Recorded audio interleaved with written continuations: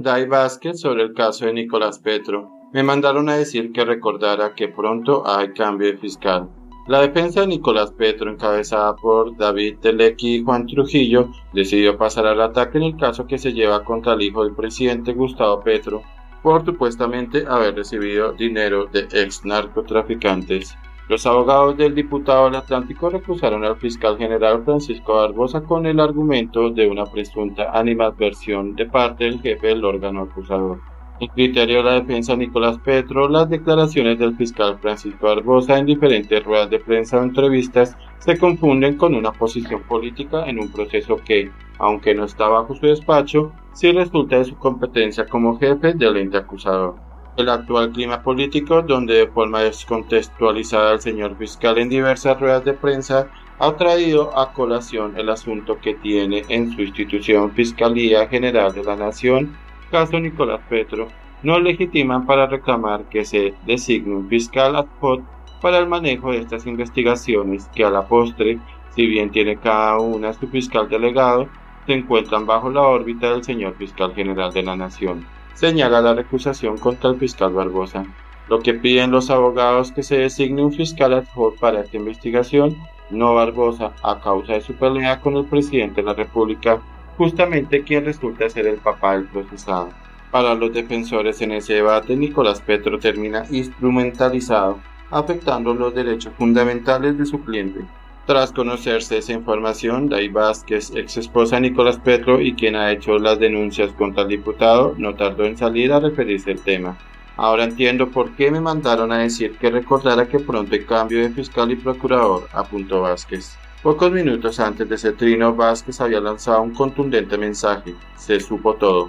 La ex esposa del hijo del presidente de la República denunció en marzo pasado que él, al parecer, el ex Santander López Sierra dio 600 millones de pesos supuestamente dirigidos a la campaña presidencial del OIGP Estado a través de Nicolás Petro, quien se habría quedado con el dinero.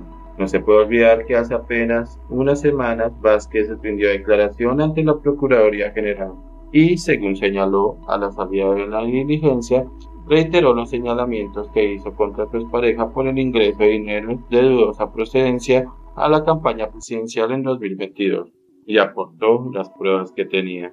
Básicamente reiteré lo que dije ante semana ante Vicky Ávila y aportar pruebas. Precisó Vázquez en una corta declaración que dio a los medios de comunicación al terminar la dirigencia, en la que estuvo por cerca de dos horas y en la que dijo que entregó los aportes de todos los señalamientos contra el hijo del presidente Gustavo Petro.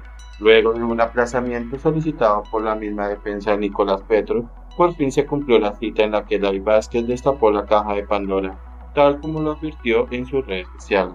Ratificó todo lo que afirmó en la entrevista con Semana sobre las oscuras relaciones de Nicolás Petro, su lobby burocrático por ministerios y altas entidades del Estado y, sobre todo, la plata que venía recogiendo que tenía como destino, según se ha podido conocer la campaña a la gobernación por el pacto histórico de Máximo Noriega. Day había asegurado que Noriega era el enlace con el llamado hombre Malboro, Samuel Santander López Sierra. Todo se hizo a través de Máximo. La plata que entregaba se la entregaban a Máximo. El señor nunca le entregó nada directamente a Nicolás, contó Vázquez en entrevista con la directora de Semana, Vicky Ávila. En total, según ella, Noriega le habría llevado en efectivo a Nicolás 600 millones de pesos solo el hombre Malboro. Y con un agravante, Nicolás le habría seguido pidiendo plata a Santander López Sierra, ya con su papá en el poder, para ayudar a la campaña de Noriega a sus aspiraciones a la gobernación.